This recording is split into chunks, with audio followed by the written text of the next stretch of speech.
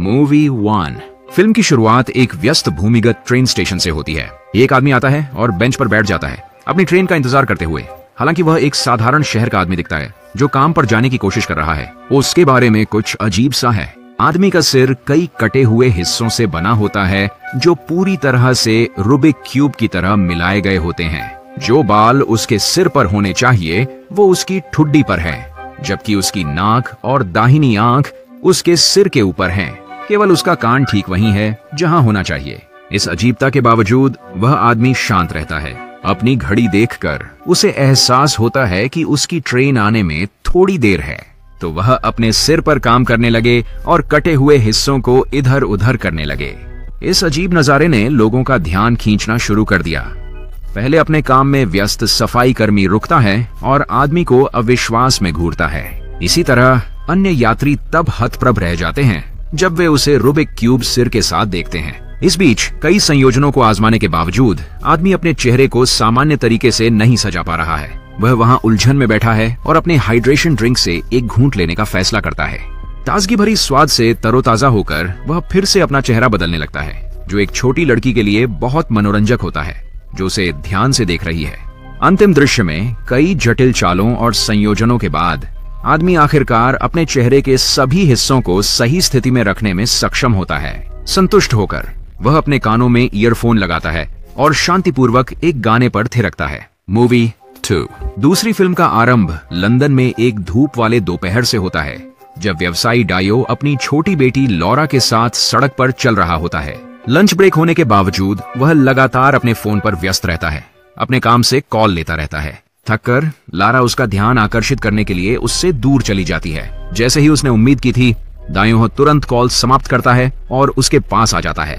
Laura फिर मज़ाक में उससे नाचने के लिए कहती है। वह उसे कदम दिखाती है और वे दोनों कुछ नाचते हैं। उनकी बातचीत से पता चलता है कि लॉरा का उसी दिन बाद में अपने स्कूल में उसका पहला स्टेज परफॉर्मेंस है। लेकिन नायो इसमें शामिल नहीं हो पाएगा, क्योंकि उसकी कई व्यापारिक बैठकें हैं। जैसे ही पिता और बेटी एक क्रॉसिंग के पास पहुँचते हैं अचानक एक साइकिल उनके पास से खतरनाक तरीके से गुजरती है। अगर वे कुछ इंच आगे होते तो एक गंभीर दुर्घटना हो सकती थी। इससे दायो भावनात्मक रूप से झकझोर जाता है और उसे याद आ जाता है कि वह अपनी छोटी बेटी को कितना महत्व देता है।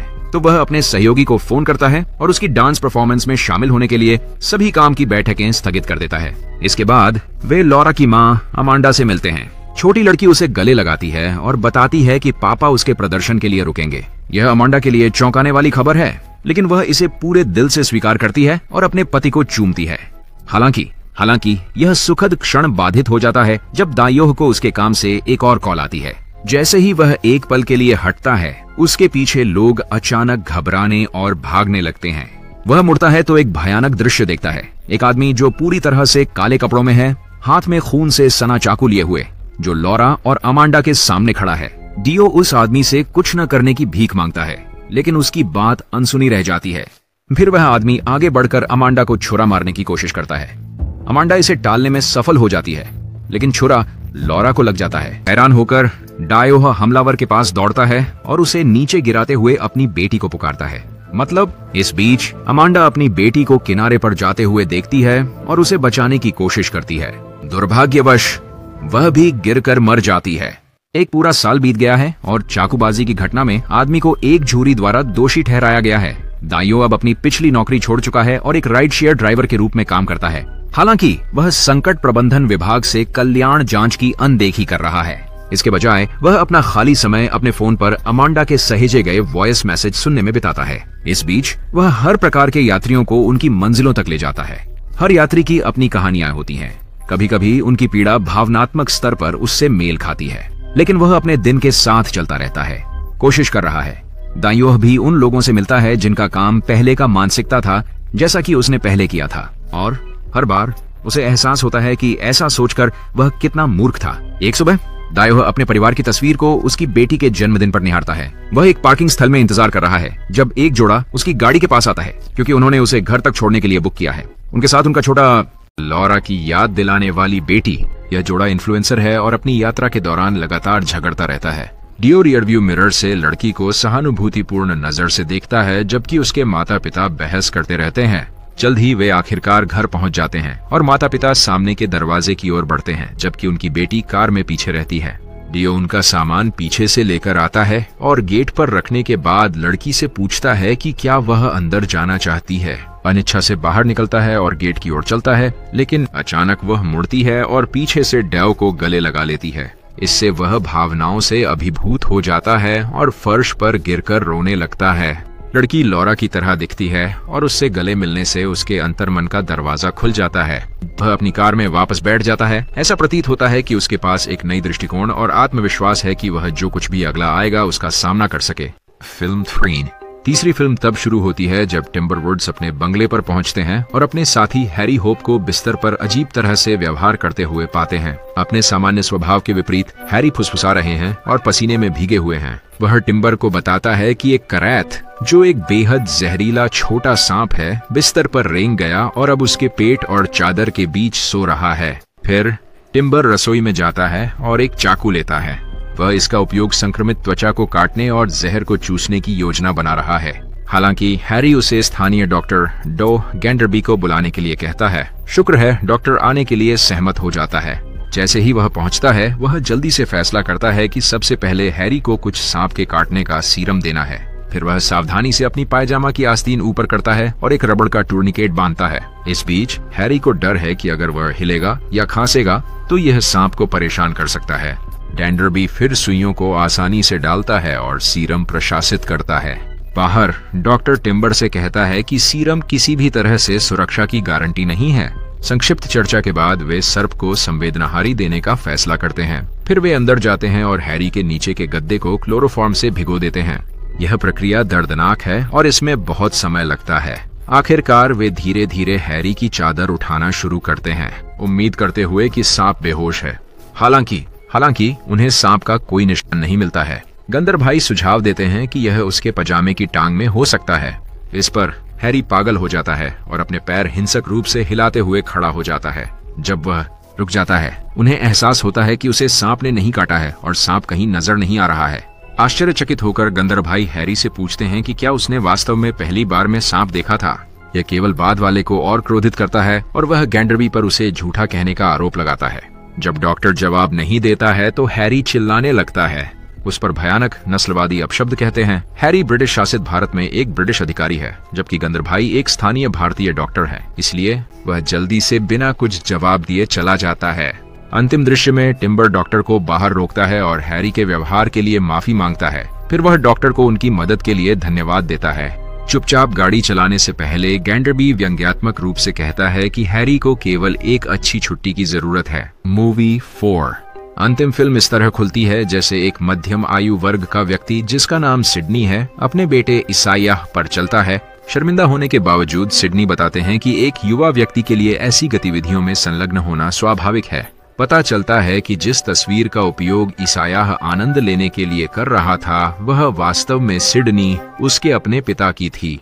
जैसे जैसे समय बीतता है, ईसायाह का अपने पिता के प्रति आकर्षण तेज़ी से बढ़ता है और वह अधिक आक्रामक हो जाता है। चौदह साल बाद ईसायाह की शादी के रिसेप्शन में, उसकी माँ, जोन, अपने पति को खोजने जाती है। उसका डर, वह सिडनी को अपने बेटे द्वारा दुर्व्यवहार करते हुए पाती है। हालाँकि हालाँकि, वह इसके बारे में कुछ नहीं करती है। वह अपने आँसू पहुँचती है और ऐसे चलती रहती है जैसे कुछ हुआ ही नहीं। सालों तक सिडनी को अपने कष्ट के बारे में लोगों को बताने से डर लगता था, लेकिन वह उस बिंदु पर पहुँच गया है जहाँ वह अब और दुर्व्यवहार सहन नहीं कर सकता। इसके परिणाम स्वरूप वह एक किताब लिखने का फैसला करता है, जिसमें वह पिछले दस वर्षों से सब कुछ झेल रहा है। सहायता, एक रात जब वह अपनी किताब पर काम कर रहा होता है तो उसे अपने पीछे कदमों की आवाज़ सुनाई देती है। वह पेज से बाहर निकलने की कोशिश करता है, लेकिन कंप्यूटर अचानक गड़बड़ हो जाता है। शुक्र है, वह कंप्यूटर को बंद कर देता है इससे पहले कि ईसायाह पहुँचे और उसे रात के खाने के लिए बुलाए। रात के खाने पर ईसायाह उसे एक उपहार देने की कोशिश करता है, लेकिन सिडनी उसे अस्वीकार कर देता है। जोन फिर माहौल को हल्का करने की कोशिश करती है, लेकिन इसे आ समझाता है। दावा करता है कि उसने यह उपहार अपने पिता के लिए विशेष रूप से खरीदा है। फिर वह अपने पिता की पूंछ के नीचे उसके पैर को रगड़ने लगता है। कई हफ्तों बाद सिडनी अंततः अपनी किताब पूरी करता है और अपने परिवार को हमेशा के लिए छोड़ने का फैसला करता है। जाने से पहले वह पूरा हुआ पांडुलिपि अपनी पत्नी के तकिए के नीचे रखता है। दुर्भाग्य से जब वह हॉलवे में जाता है तो ईसायाह उससे टकराता है, जो दावा करता है कि उसका शौचालय टूट गया है और उसे उनका उपयोग करना है। डरा हुआ। सिडनी उसे उनके कमरे में जाने से रोकने की कोशिश करती है, लेकिन असफल रहती है। उस रात ईसैया ने अपने पांडुलिपि की प्रति मिलने के बाद सिडनी के कार्यालय में उससे संपर्क किया। वह नाराज़ है कि उसके पिता उनके रिश्ते को उजागर करने की हिम्मत करेंगे। इसे जलाने की धमकी देते हुए उसने चेतावनी दी कि अगली बार परिणाम एक साधारण बातचीत से कहीं बुरा होगा। इससे सिडनी डर जाता है, इसलिए वह तुरंत अपनी पांडुलिपि वाली फ़ाइल हटा देता है। सभी दोस्तों और परिवार के लिए नया साल पार्टी आयोजित करने के बाद सिडनी ने आराम करने के लिए स्नान और संगीत का आनंद लिया। लेकिन इस सियाह के लिए उसकी और भी योजनाएँ हैं। वह दरवाज़ा तोड़कर अंदर घुसता है और बात तब में उस पर हमला करता है। माँ उसकी चीखें नीचे से सुनती है, लेकिन वह कुछ नहीं कर सकती।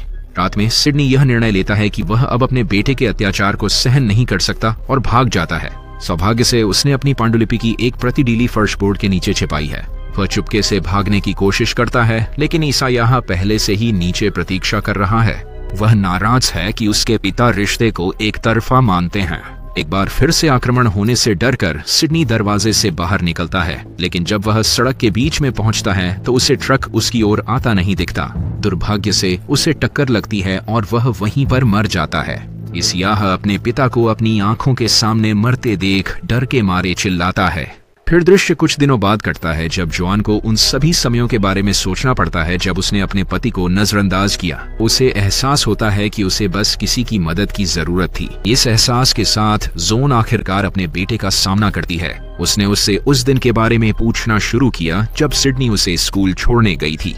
हालाँकि जब वह घर वापस आया तो वह रो रहा था और जोन की आँखों में नहीं देख पा रहा था। शुरुआत में ईसैया ऐसा दिखाता है जैसे उसे पता नहीं है कि वह किस बारे में बात कर रही है। लेकिन जितना अधिक वह दबाव डालती है, वह उतना ही अधिक उत्तेजित हो जाता है, जब तक कि अंततः वह सच नहीं बता देता। गुस्से में, वह उस पर अपने पिता की हत्या का आरोप लगाती है और उसे थप्पड़ मारती है। वह उसे थप्पड़ मारता है। यह दावा करते हुए कि उसने अपने पिता से उससे अधिक प्यार किया। इससे दोनों के बीच झगड़ा होता है और अंत में जोन आत्मरक्षा में अपने बेटे को मार देती है।